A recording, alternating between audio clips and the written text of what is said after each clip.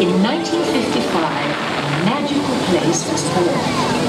And in this marvelous kingdom, there lived many delightful friends who made our dreams come true.